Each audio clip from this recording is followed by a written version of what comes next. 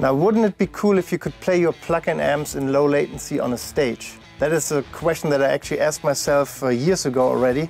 And I'm so excited that we have uh, Gig Performer added to the plugin alliance now, because today I'm going to show you that I'm uh, playing the Diezel plug-in amp through a standard power amp. It doesn't have to be a tube amp or anything.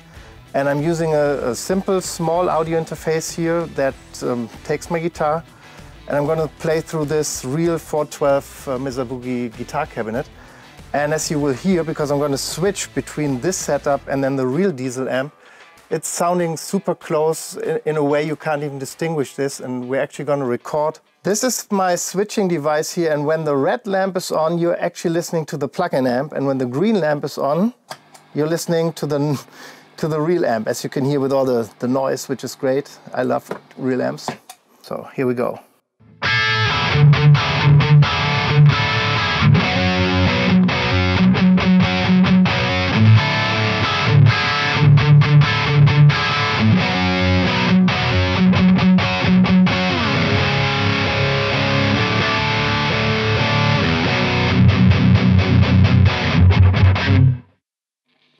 That's actually the real amp now. I'm, I'm, I'm even getting confused now. That's cool. One thing that I really love about a setup like this is that you can actually use a real 412 guitar cabinet, or you could even use several if you wanted to play stereo, do full stacks, whatever you want.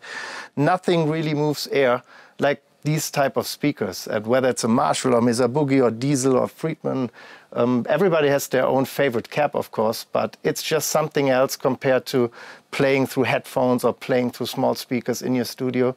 So even for rehearsing, I have a lot of fun just playing through that setup. Now, one thing that's really cool with Gig Performer is that I can use a standard MIDI board basically to switch not only between different sounds of an amp, but actually between all kinds of different amps. I can switch from an ENGL to a Diezel and to a whatever, Friedman. Here you go.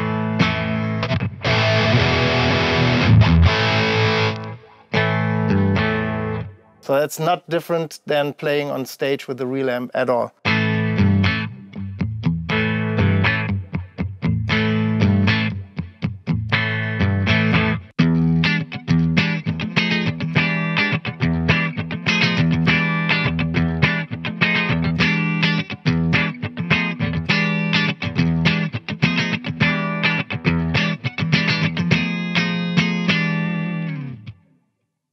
While I'm not a Pete Thorn or Eddie Van Halen, of course, I really enjoyed showing you what Gig Performer can do for guitar players. Obviously, you can use it in your studio rehearsal room. And everything I did here right now works just the same for bass players, of course. We have Ampeg bass amp emulations. They work just as fine as the guitar amps.